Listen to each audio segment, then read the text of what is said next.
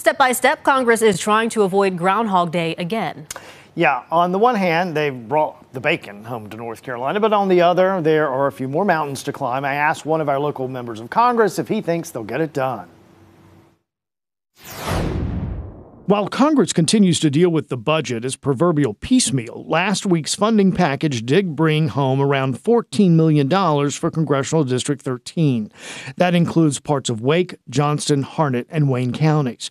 The funding secured by Congressman Wiley Nickel includes $1 million for Go Triangle's zero emission bus fleet plus $330,000 for police equipment and tech for the town of Selma. Smithfield gets $124,000 for body cameras and data storage. The town of Cary gets $1.9 million for stormwater and water quality. Holly Springs $959,000 for water infrastructure. But the stickier points of the budget are still being hashed out.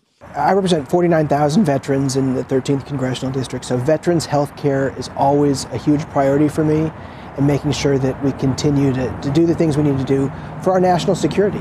Nickel says the defense budget will have a direct impact on North Carolina's military bases and posts. The defense industry is especially important for North Carolina.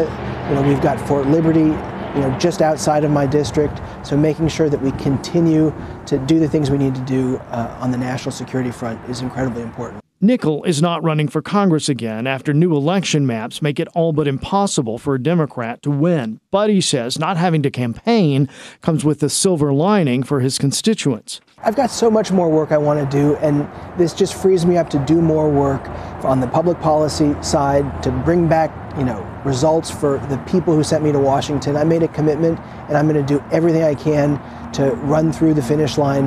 While it may be the most divisive subject in Congress, he still holds out hope that border legislation can get passed. I'm hopeful that we can finally, you know, fix a broken immigration system and secure our southern border. There's a, a very large bipartisan group in the House and Senate in the middle that wants to do that. So, what's the deadline on the next parts of the, bu- the budget? So, the 22nd of March, so not this Friday, but the following Friday. And they're also hoping to figure out something when it comes to aid to Ukraine, as well as Israel, as well as Taiwan. All of that combined into defense and homeland security. All right. Perhaps separately from all of the above. Right. All right. We'll follow it. Russ, thanks.